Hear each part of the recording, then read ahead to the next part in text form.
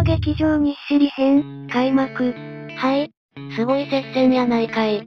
平野劇場じゃねえか。劇場型すぎる。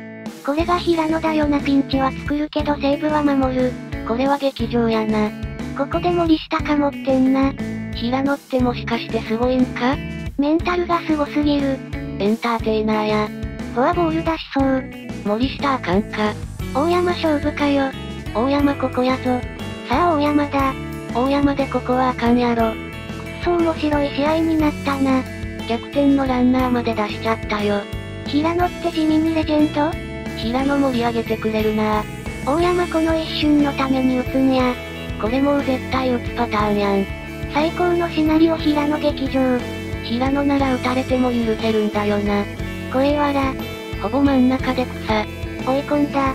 平野頑張れ11球団のファンが応援しているぞ。藤川興奮してて草。平野って地味にレジェンドよな。平野ってこんなコントロール悪いん無駄球が多いな。草。ファーわらわらわらわら。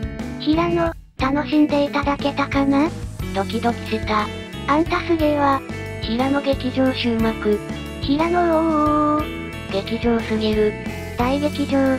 さすが平野や。おりほー。よし判定に負けなかった。クローザーは負けなければ良いというメンタル見習いたい。これが劇場や。楽しませるなあ平野。なんかもう色々すげえな平野わら。お楽しみいただけたかな？エンターテイナーの鏡。これが平野や。さすがに草。フルカンフォーク注文通りさすがすね最後に完璧な変化球で草。平野よく盛り上げたなエンターテイナーだわ。これが平野なんだよな打てそうで打てない。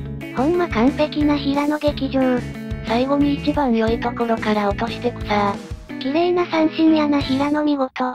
うーんエンターテイナー。打たれなかった平野義久です。ここでフォーク投げるのほんま平野すごいわ。平野マジですごいわ。マジすげえわ平野。甲子園が静寂に。劇場型にも程があるわら。いやー平野おもろいな。さすが自らシナリオ作ってくれる平野さん。平野すげえなほぼ逆転の流れやったのに。平野とか言うてそうな気配すごいあるのに実際は全然打てない謎の投手。なんやかんや5、4か拮抗してて面白いわ。期待通りのものを見せるプロ中のプロ。この年齢まで一軍にいる投手やからこういう内容になるわな。平野マジですげえわわら。メンタル強すぎるわ平野。楽しんでいただけたかな？